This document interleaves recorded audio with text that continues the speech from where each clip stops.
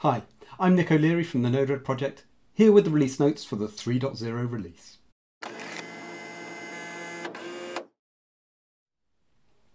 In the editor, we've added a right-click context menu in the workspace. This gives you a quick access to a lot of the built-in actions in the editor and should help users discover more of the many features that are already available. Picking what options should have been in this menu hasn't been a simple task, so we've had to get the right balance between having the right options there and making it too long and hard to find anything.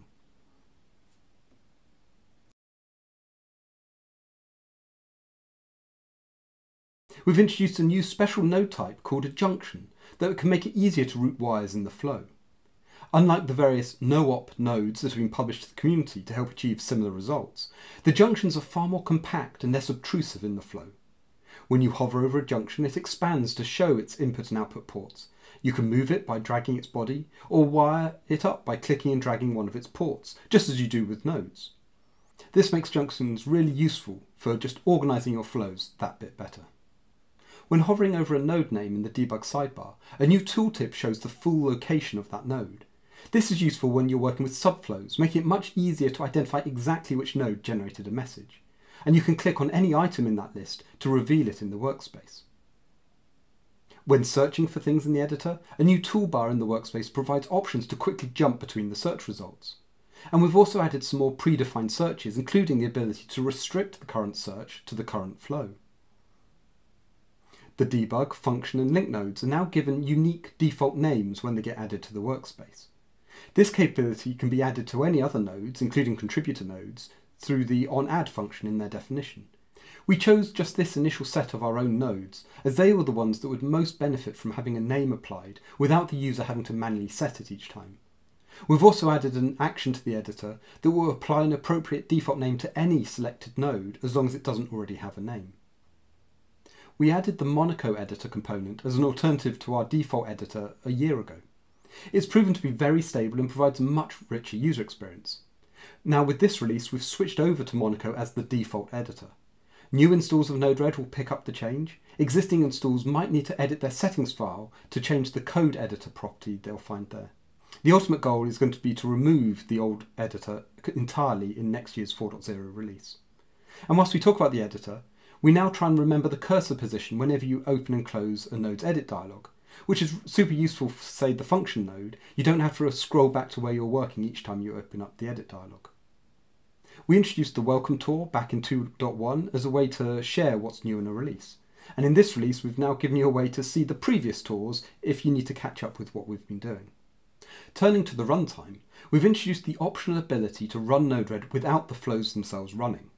We already had safe mode that achieved a similar result, but with this new feature you can stop and start the flows directly from the editor. And the runtime remembers the state of the flows, so when it restarts, the flows will stay in the same started or stopped state.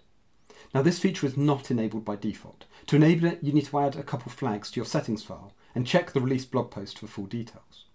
But when it is enabled, you get this new option in the deploy menu. You can click it to stop the flows, and continue edit, edit them and deploy changes. And whilst stopped, inject and debug node buttons get disabled. And whilst the flows are stopped, you then get a menu option to start them again.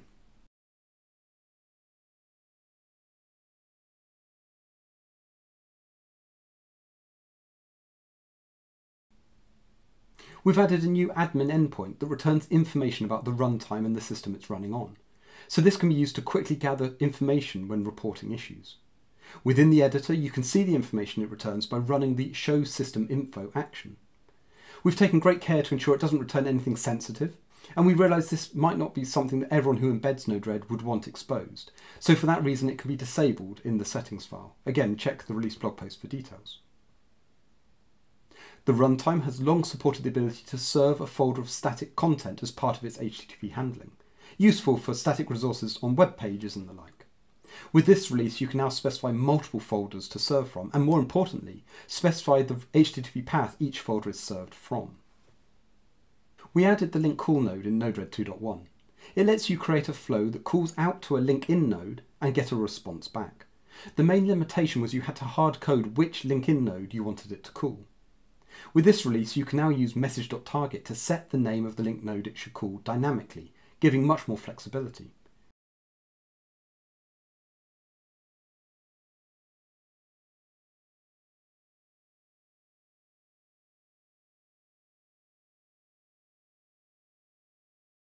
And other updates to the nodes, we have the template node can now access environment variables directly. The debug node has an option to report how many messages it has received in its status output. And the HTTP request node now allows you to set response headers in its edit dialog rather than having to pass them in as message properties. And those are the highlights for Node-RED 3.0.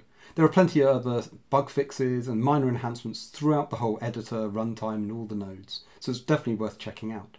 Thank you to everyone who tried out the betas. I think we've got a much higher quality release this go round for all the great feedback the community has given on, on the work we've been doing. And now's a great time to get involved either on the forum or in Slack if there's things you'd like to see us develop in the future roadmap, Node-RED 3.1 coming later this year, and so on. So thank you for watching. I hope you enjoyed the release.